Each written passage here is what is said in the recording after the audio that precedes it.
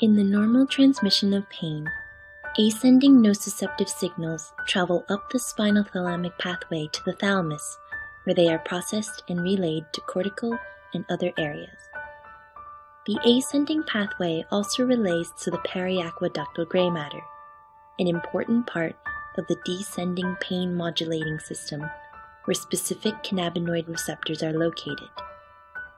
Stimulation of the periaqueductal gray is known to produce an analgesic effect. However, this neuroregulatory process is thought to be tonically restricted by inhibitory GABAergic off cells. Ascending pain signals relayed through the periaqueductal gray suppress the activity of GABAergic off cells through cannabinoid modulation, thereby increasing activity in the descending pain modulation pathway and increasing the analgesic effect. This is called depolarization induced suppression of inhibition.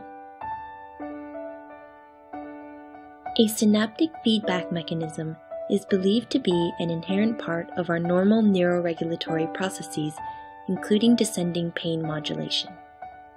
In many regions of the CNS, including the periaqueductal gray, the generation of postsynaptic action potentials is modified by an endogenous cannabinoid regulatory system.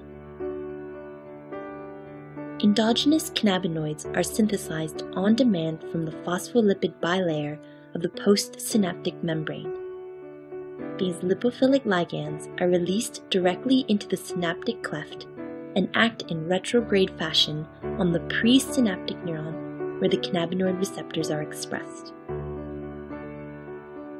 Binding of the endogenous cannabinoids affects intracellular signal transduction pathways, reducing the influx of calcium ions into the presynaptic neuron, causing a decrease in further neurotransmitter release.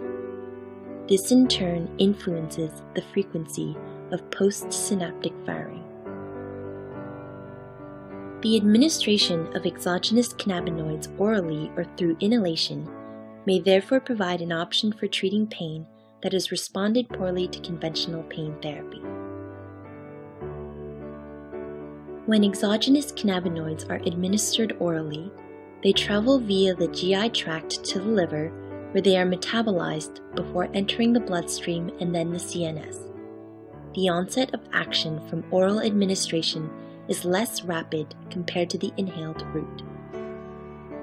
When exogenous cannabinoids are inhaled, they travel through the respiratory tract to the alveoli of the lung, where they diffuse rapidly into the circulatory system.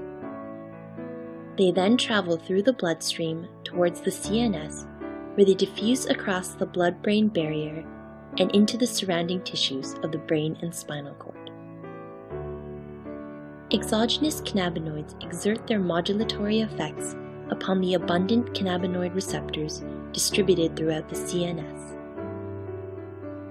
The effects of cannabinoids may be illustrated by comparing three neuronal synapses showing normal pain transmission, the influence of endogenous cannabinoids, and the influence of exogenous cannabinoid administration.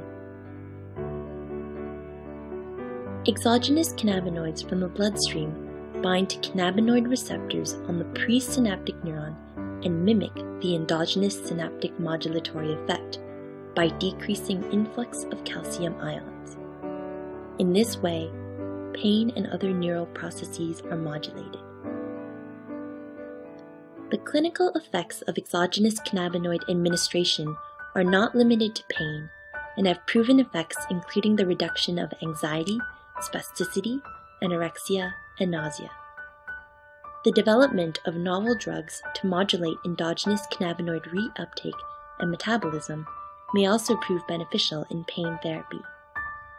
The therapeutic benefits of cannabinoids, including modification of the endogenous cannabinoid signaling system, should be further explored through clinical research.